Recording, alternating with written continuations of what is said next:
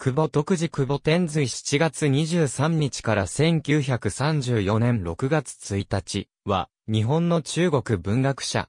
本名は、久保徳次、別号は、兜城。台北帝国大学教授などを務め、監視の施策も行った。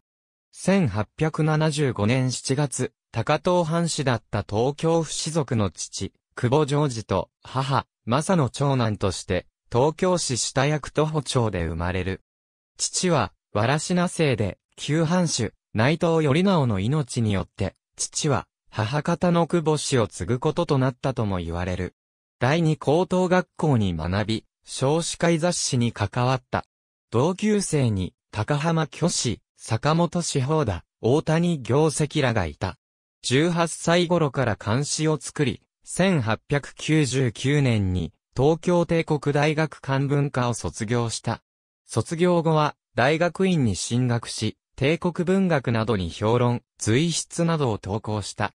鉄道省が新しい鉄道を敷くたびに招かれて集客用の寄稿文を手掛け、漢文帳の微文をもって、文壇の一角を占め、田山片平と共に、明治文壇の寄稿文化の一人に数えられた。また、漢石の表釈や、漢詩の訳中、解説も行っている。こうした売文化業を20年近くした後、1915年に大礼記録編纂委員会の嘱託となった。この会は内閣文庫の会場に設けられたため、文庫の蔵書を閲覧する機会に恵まれたことをきっかけに、売文生活から学問的研究に移行した。これをもとに1917年から監視専門誌で、清掃機に関する連載を持ち、1920年には、宮内省図書寮の編集官となった。法政大学や大東文化学院の講師も務める。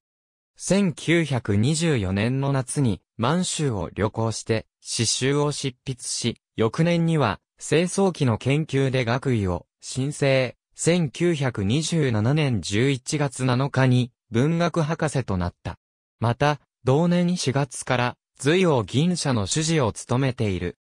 1928年に台北帝国大学が設立されると、翌29年4月11日に、その教授に就任した。文政学部東洋文学科で中国文学講座を担当し、中国文学史などを教えた。また、宝庫諸島や琉球を旅して、寄稿文を書いている。